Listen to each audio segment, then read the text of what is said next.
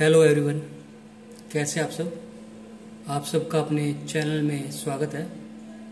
आज मैं आपको एक कहानी सुनाने जा रहा हूँ, जिसका टाइटल है मज़ाक। तो कहानी इस प्रकार से है।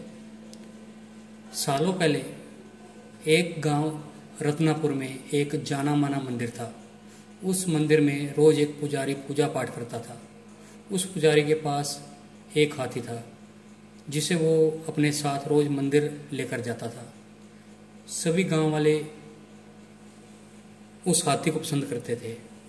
हाथी भी मंदिर में आने वाले सभी श्रद्धालुओं का खूब स्वागत, सत्कार किया करता।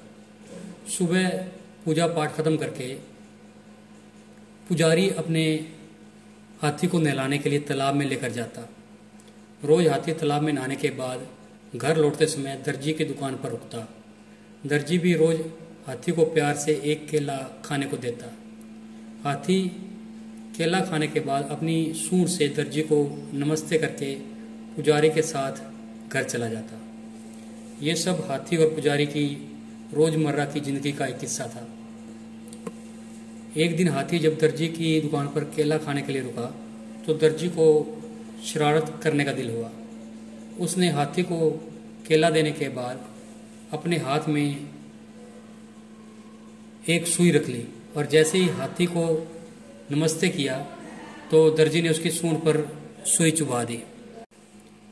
सुई चुभते ही हाथी ज़ोर से चिंगाड़ते हुए कराने लगा। दर्जी ने हाथी के दर्द का खूब मज़ाक उड़ाया और ज़ोर ज़ोर से हंसने लगा। पुजारी को पता नहीं चला कि क्या हुआ। वो हाथी को सहलाते हुए अपने घर लेकर चला गया। अगले दिन फिर पुजारी और हाथी तालाब से लौटकर आ रहे थे। पुजारी कुछ दूर रुककर लोगों से बात करने लगा। हाथी रोज की तरह दर्जी की दुकान पर रुक गया। आज हाथी ने अपनी सूंड में कीचड़ भर रखा था। दर्जी अपनी दुकान पर बैठकर कपड़ों की सिलाई कर रहा था।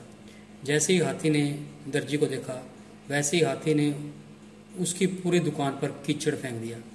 उस कीचड़ में दर्जी तो भीगा ही, बल्कि उसकी दुकान के सिले हुए कपड़े भी खराब हो गए।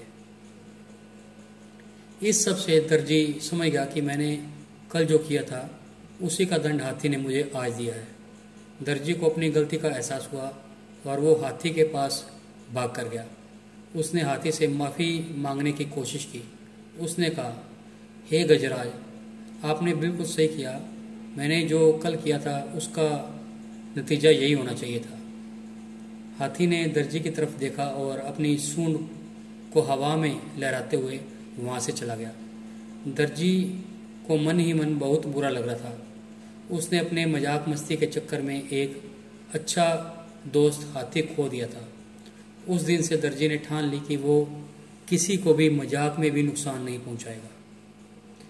इस कहानी से हमें यह सीख मिलती है कि किसी के साथ बुरा व्यवहार नहीं करना चाहिए।